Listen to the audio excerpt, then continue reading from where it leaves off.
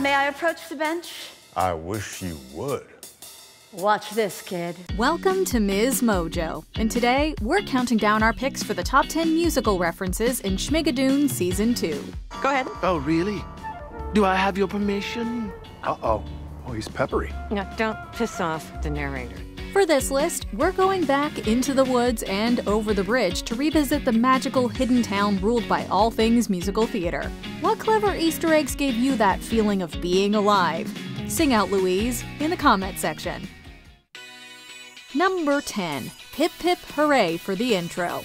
If we learned anything from our first trip to Schmigadoon, it's that this town knows how to stage an intro. And Season 2 hooks us all over again with one of the most recognizable openers in musical theater. Leave your fancy degrees and your jobs and your cheese. It's time to change your point of view. Schmiggity doo. The white gloved hands of Pippin fame are a direct giveaway, but Titus Burgess's introduction as narrator is also strongly in the vein of Ben Vereen's leading player. And while the costumes more closely align with something like Cabaret, the acrobatic choreography of the dance break recalls Pippin's most recent Broadway revival. Okay. I'm really into this. Yeah, rein it in, pal, please.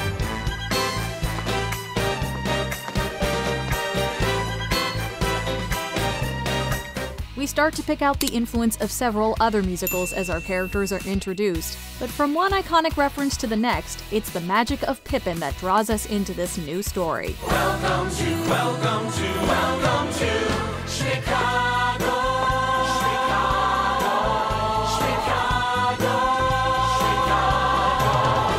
Number 9. A cast of familiar characters. The season 1 residents of Schmigadoon were a bingo card of classic musical characters, and season 2 seems to go in even harder. Some of the new personas are easy to pin down to existing characters, Good luck with getting them to care. Kratt's got his foul claws in all of them. All the more reason for my cleaver to dispense justice. I shall call this my Justice Cleaver. You'd have to be completely unfamiliar with musical theater not to see Sweeney Todd in Schmicago's bloodthirsty butcher Dooley Blight. Other characters are hybrids. Aaron Tveit Topher looks like a certain Godspell savior, but expresses Pippin-like yearnings. What am I supposed to be? Who is this guy called me? When will I see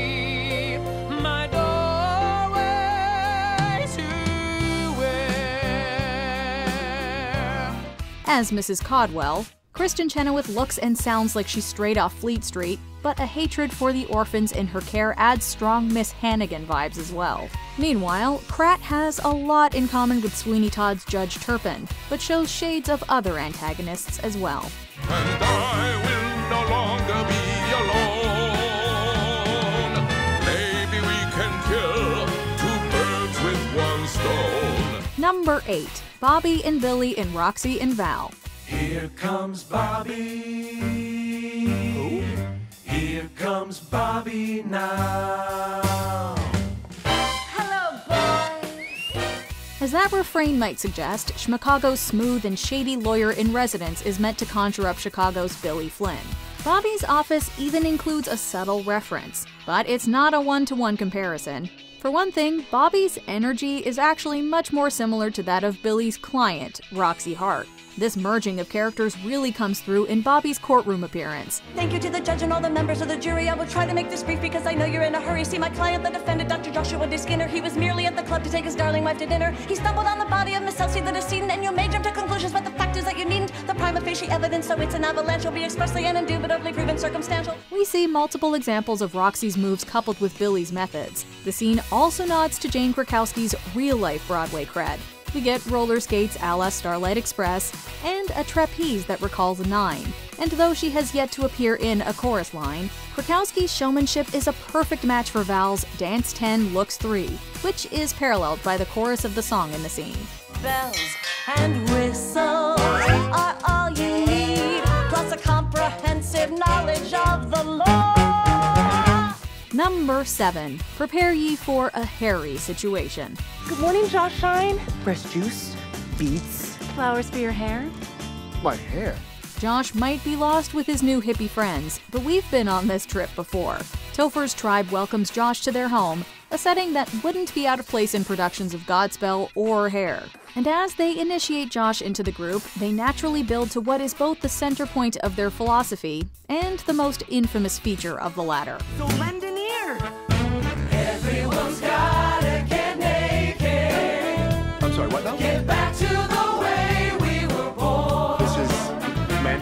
Oblivious to Josh's reticence, their enthusiasm plays out in a dance segment reminiscent of Age of Aquarius. When that doesn't move Josh to bear it all, though, the tribe moves on to their other tool of persuasion. Sounds like someone needs a lesson in the power of parables I assure you I do not. and the value of community.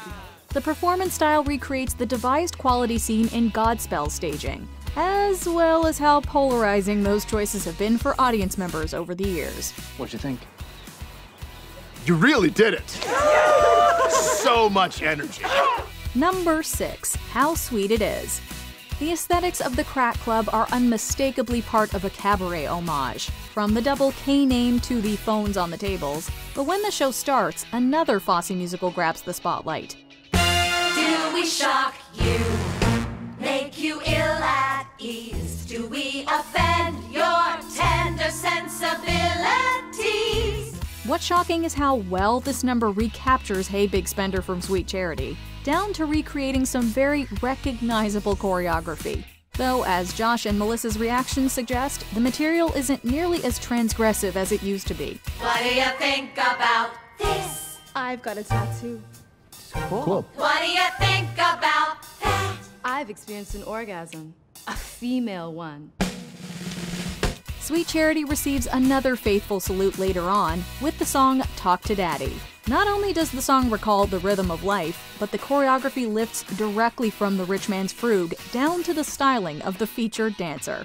Talk to daddy, talk, talk to daddy now. Talk to daddy, talk, talk to daddy. Talk to daddy, talk, talk to daddy now. Number 5. Finding Religion. The tribe's penchant for narrating their parables is right out of the Godspell playbook. And as we mentioned, Topher already bears a striking resemblance to the version of Jesus who appears in that show. But when he's busy romancing Jenny, the tribe is quick to find itself a new savior. He healed alive! It's a miracle! Definitely not a miracle. Lead us. Tell us what to do. Tell us what to do and we'll do it! What? No, I'm, I'm not that guy. Tell us really. what to do! Tell us what to do!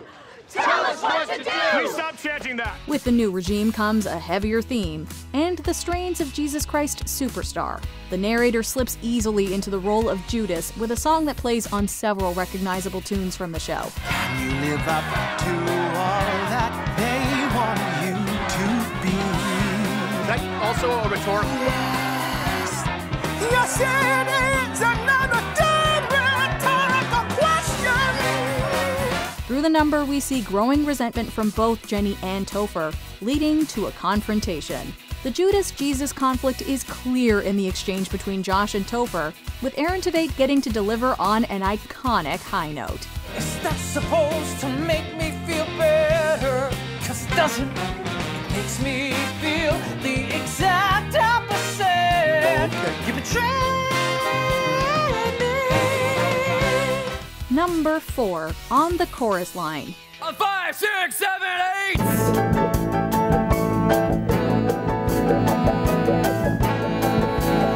This music echoes in the ears of musical theater fans everywhere, so it's no wonder that everyone already knows the choreography, except for Melissa.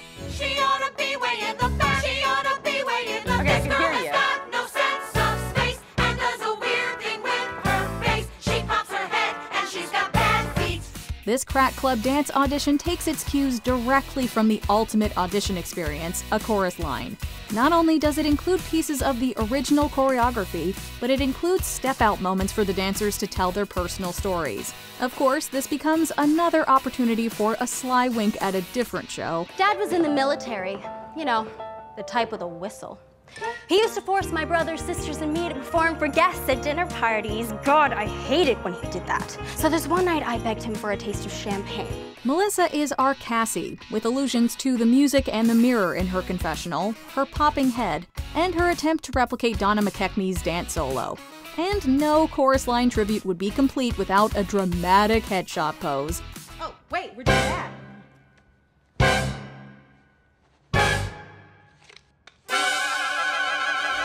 Number 3. Life is a Cabaret in Schmicago.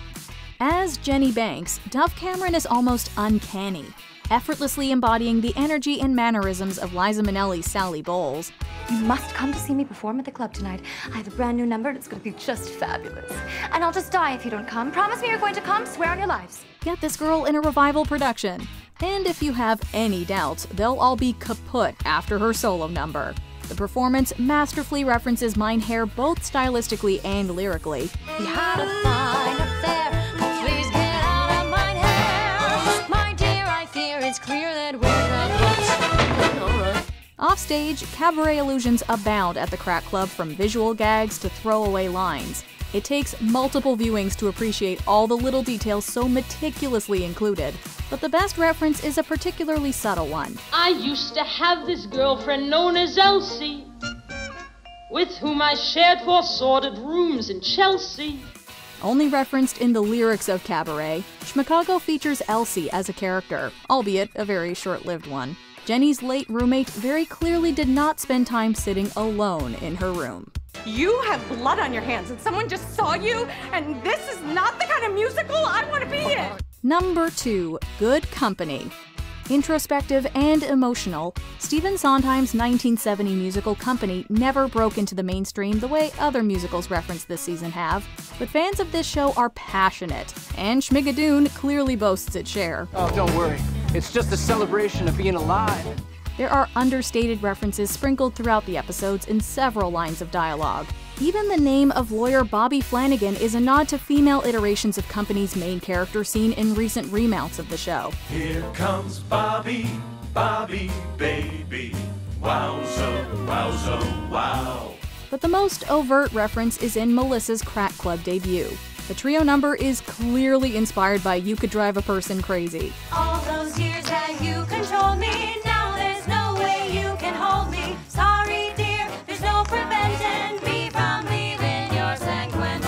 Of all the clever homages to Company, this one is easily the most charming. Though we also enjoy the recurring interjections of a Joanne lookalike. Taste the jar. We'll drink to that. Before we unveil our top pick, here are a few honorable mentions. The Devil in the Details. Though not the inspiration for Kratt, fans of Patrick Page's Hadestown role won't be able to miss the similarities. Wow, so you own this club. Yeah, more of a hobby, really. Hmm. My true passion is power. Electricity. They always will be together. This reference goes by so fast it might as well be Greased Lightning. Ruby wubba doody, Rizzo chow chow doody, Flooby nooby wiki, Zuko and Kenickie. A Darker Tomorrow. Not a lot of smiles here, but they're not exactly fully dressed anyway. Of our beautiful cabaret girls.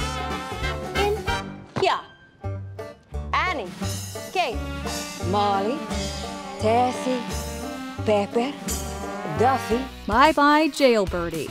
Blink and you'll miss out on what really happened to the rock star heartthrob of yore. I believe you. And I didn't rob that bank. I believe you. Yeah, and I never touched that girl. I believe you too, Conrad. Of course you do. I believe all of you. An event to bring down the house. Phantom's legacy lives on when a wedding takes an operatic turn. Uh,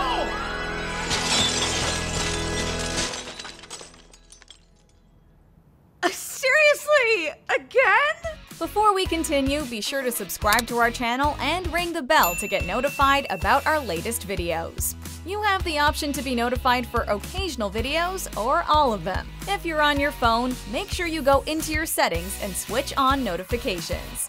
Number 1. Two bad babysitters for the price of one. What if, let's say, I could get rid of some of the orphans and you could get some meat at the same time? What exactly are you suggesting? When Dooley Blight and Mrs. Codwell team up, the worlds of Sweeney Todd and Annie come colliding together in a dark and hilarious turn. Taking a cue from A Little Priest, Codwell and Dooley run down their potential menu, with the orphans very gamely acting as their props. But do you have mincemeats? Well, since meat is sparse, we got mincemeat instead. Slice right off of his arm. Miss Codwell, please. There are children present. Not for long. The number then segues into what is unmistakably a riff on Hard Knock Life. Obviously, we can't get behind the, um, execution of this idea, but the gleeful energy of the entire ensemble does make the grisly premise so much more delicious.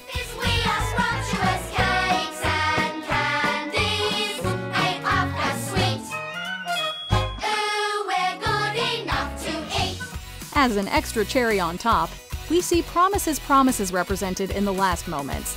And given the subject matter at hand, turkey lurkey time takes on a very different connotation.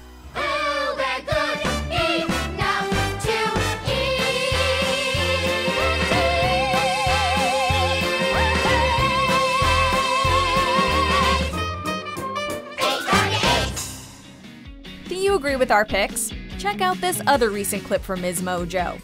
And be sure to subscribe and ring the bell to be notified about our latest videos.